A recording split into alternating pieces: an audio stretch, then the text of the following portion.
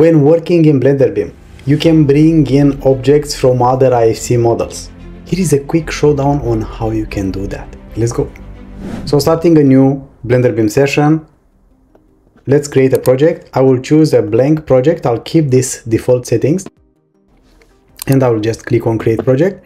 We see we don't have any types, zero types right here.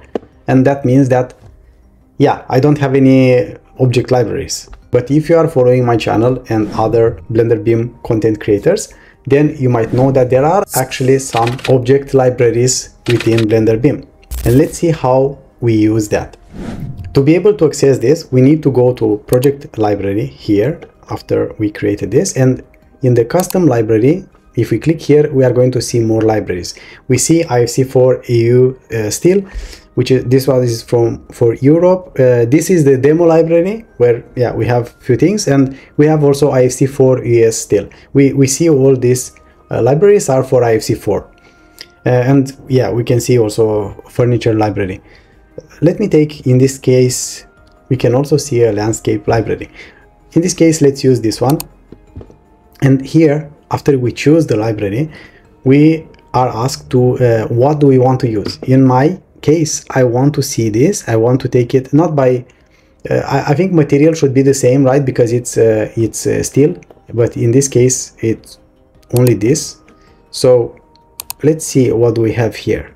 Now these are other things. I think this is the type product. Yeah so after uh, choosing the IFC4 EU steel we have to go to IFC type product and here we are going to see three types of objects beams, columns, and members. And let's take a column, for example, and of course, like if you are a structural engineer, these numbers might tell you something. There are some just numbers elements that are not so descript descriptive maybe for many of us. Let's look if we find also something more like, yeah, HEB and HEA, these are very popular.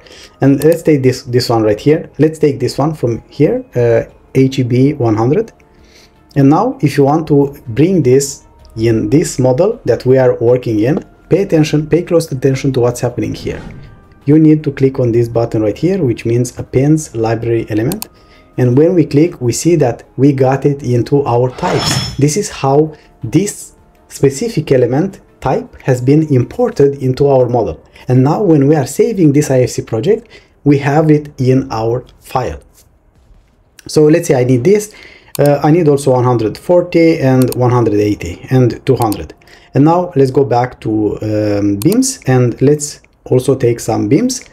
Uh, 120 160 and 80 there we go. So we got all these elements right here. And now how do we use them right? That's of course it's uh, quite natural we have to go to the column or to uh, create a beam element. Let's go to column and now we see that all these elements that we chose, we imported, we can use them right here. And let's take for example an uh, HEB 140 and after choosing that we click on add and there we go. This is our uh, object right here. And now let's say that we want also to add a, a beam. We go to the beam element. Let's see is this one? Create duct. No it it's a bit confusing. So uh, let's try again. Where is the beam? Beam beam beam beam beam. Beam is this one. Create beam yeah. Uh, let's choose the same type. I think i used 120 if i'm not mistaken. Okay there we go.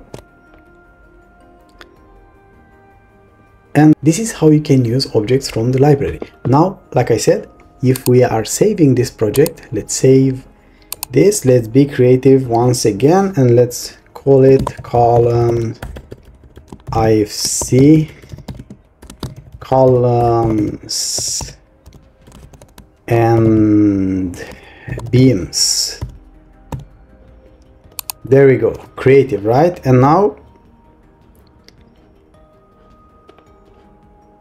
if I bring this let's create first a new space without project we can see I just resetted blender and now if I load it uh, let's go back and where is it no no no no no what happened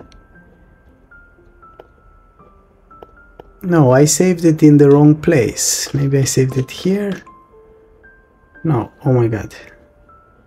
Where was it? Recent.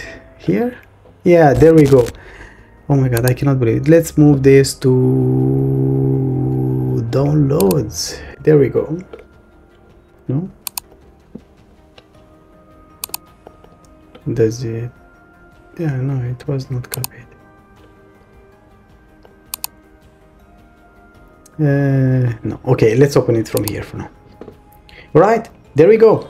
And I know you don't believe me, so let me show you how it works also from another tool. Let's take Solibri, for example, because I have this Solibri Anywhere version. And let's see how it looks also in Solibri, so that you can believe me. A few hours later. Open a model. Click here to open model. Let's go to downloads. We have it here. Let's take this one okay it was in Petru and there we go IFC columns and beams.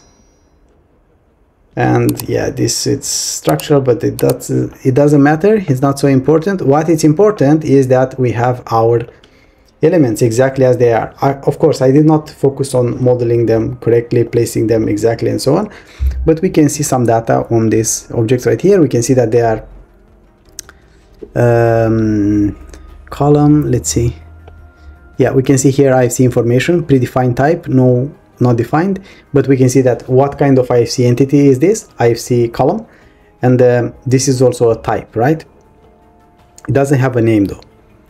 Uh, and the IFC schema it's IFC4 do we have anything else? Let's see in quantities. Oh yeah we have also quantities guys because we have used IFC4 so there you have it. This is how you import elements from existing IFC models and using in the project you are working in right now if you find this useful, you might also want to have a look at this video right here.